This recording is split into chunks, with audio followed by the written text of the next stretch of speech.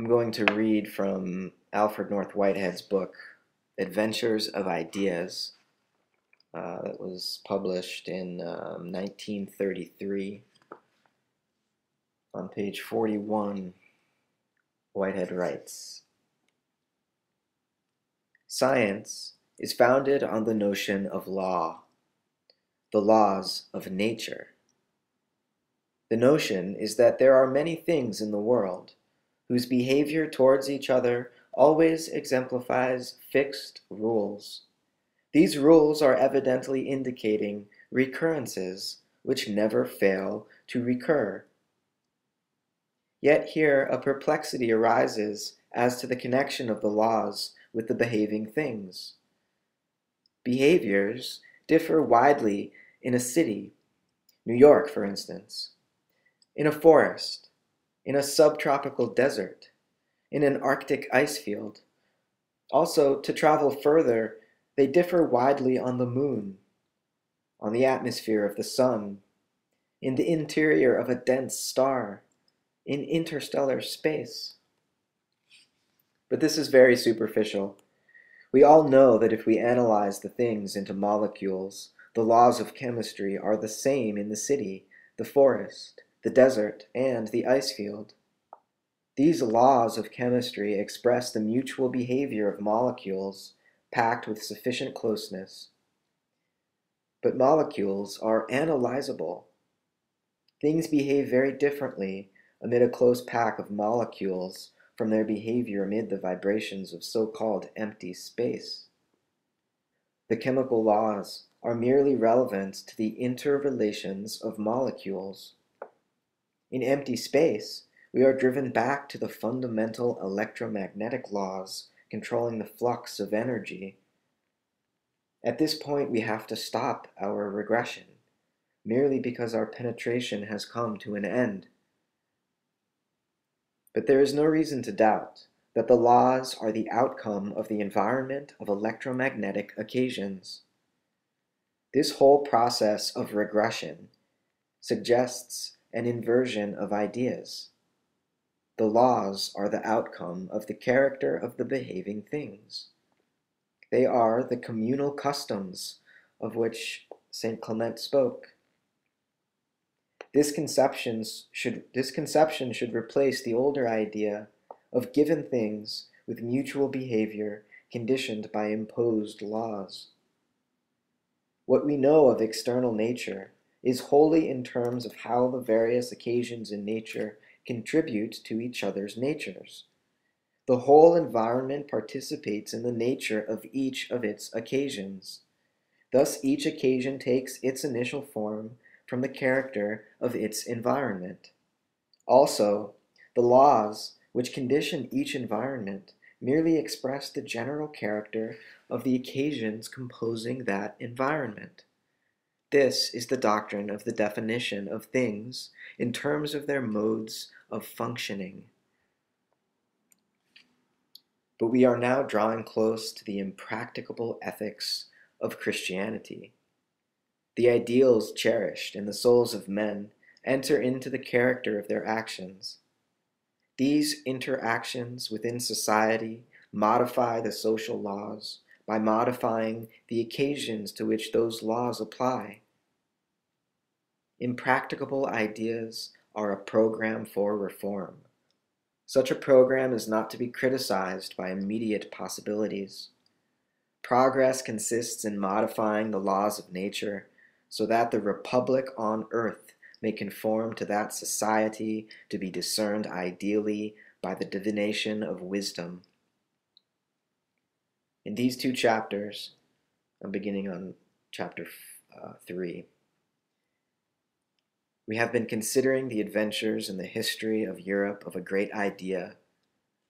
Plato conceived the notion of the ideal relations between men based upon a conception of the intrinsic possibilities of human character. We see this idea enter into human consciousness in every variety of specialization. It forms alliances with allied notions generated by, relig by religion. It differentiates its specializations according to the differentiations of the diverse religions and diverse skepticisms associated with it. At times it dies down, but it ever recurs. It is criticized, and it is also a critic. Force is always against it. Its victory is the victory of persuasion over force. The force is the sheer fact of what the antecedent volume of the world in fact contains. The idea is a prophecy which procures its own fulfillment. The power of an ideal consists in this. When we examine the general world of a current fact, we find that its general character, practically inescapable, is neutral in respect to the realization of intrinsic value. The electromagnetic occasions and the electromagnetic laws, the molecular occasions and the molecular laws, are all alike neutral. They condition the sort of values which are possible, but they do not determine the specialities of value. When we examine the specializations of societies which determine values with some particularity, such specializations as societies of men, forests, deserts, prairies, ice fields, we find within limits plasticity.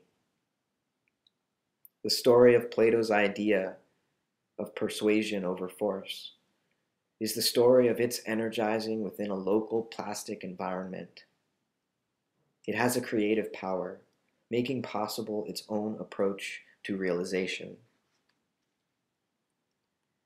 The cultural history of Western civilization for the period illuminated by written records can be considered from many aspects.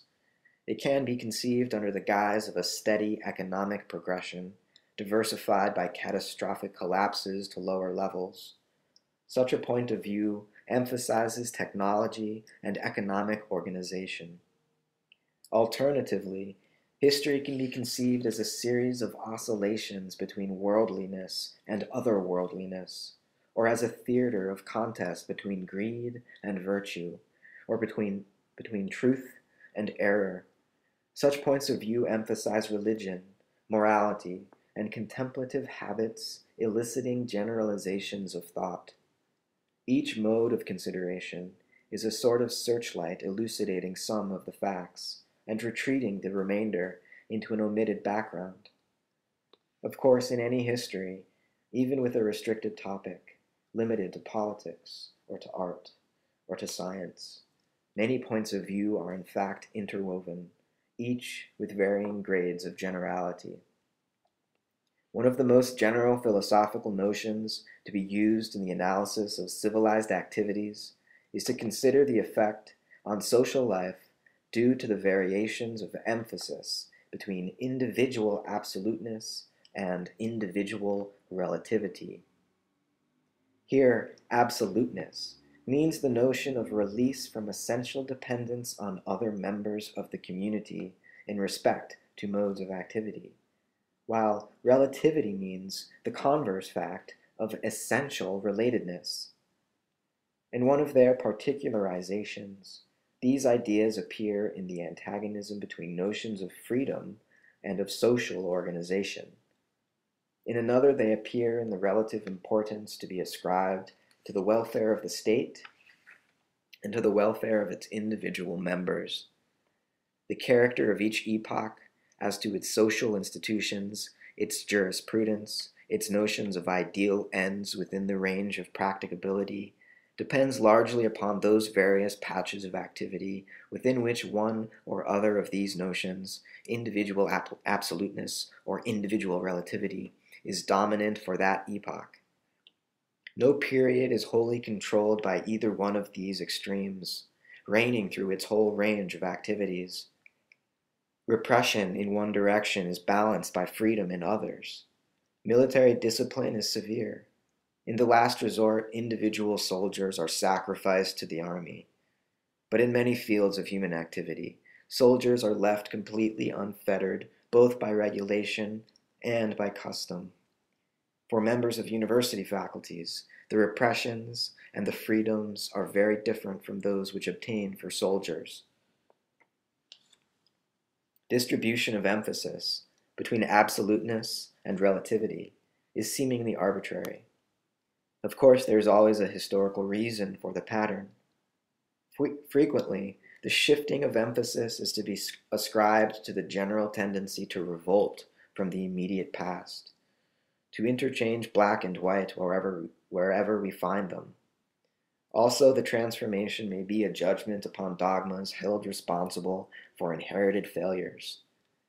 It should be one function of history to disengage such a judgment from the irritation due to transient circumstances. More often, changes in the social pattern of intellectual emphasis arise from a shift of power from, one's from one class or group of classes to another class or group of classes. For example, an oligarchic aristocratic government and a democratic government may each tend to emphasize social organization, that is to say, the relativity of individuals to the state but governments mainly satisfying the trading and professional classes, whether nominally they be aristocratic, democratic, or absolute, emphasize personal freedom, that is to say, individual absoluteness. Governments of the latter kind have been that of imperial Rome, with its middle class imperial agents and its middle class Stoic lawyers, and its and in its happiest period, its middle class emperors and that of England in the 18th and 19th centuries. With the shift of dominant classes, points of view which in one epoch are submerged, only to be detected by an occasional ripple, later emerge into the foreground of action and literary expression,